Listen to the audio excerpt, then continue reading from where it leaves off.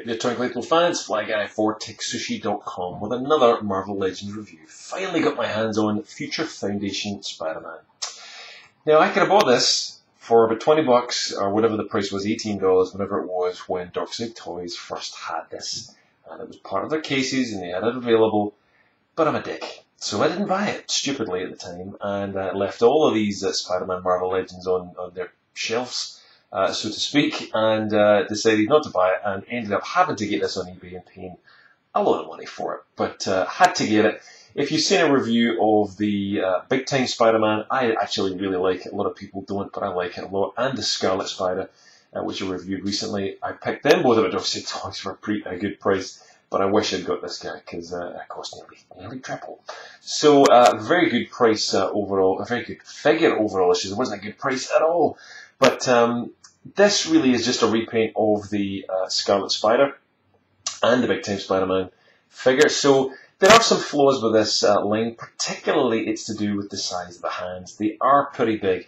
If we look at, and I'll try and give you a look at the, now this is from the uh, Superior Spider-Man, the uh, one we just reviewed for uh, the channel for the Amazing Spider-Man movie. You can see how short the difference is. So it's almost like a finger short in terms of that. So it's uh, really shortened the length uh, overall. You see the style, the way that Hasbro done it. They've really just reduced the hand. This was just way too big and uh, overstretched. So it's not the best figure in that aspect. But look, it doesn't really bother me too much.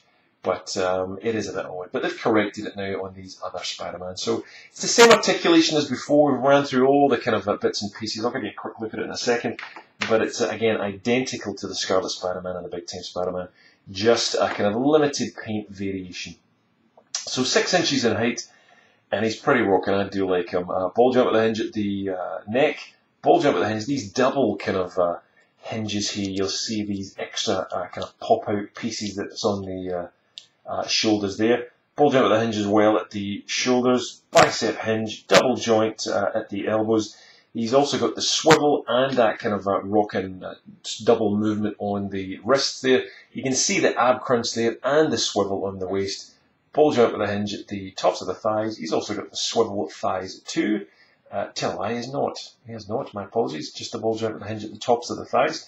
Straight into a double uh, hinge on the knees, and he's got the rocking vonkles. So full on articulation on Future Foundation Spider-Man. I'm very glad to get him. So I thought I'd give you guys a look at it if you've never really seen a an HD review of him up close. The paintwork is a little unusual.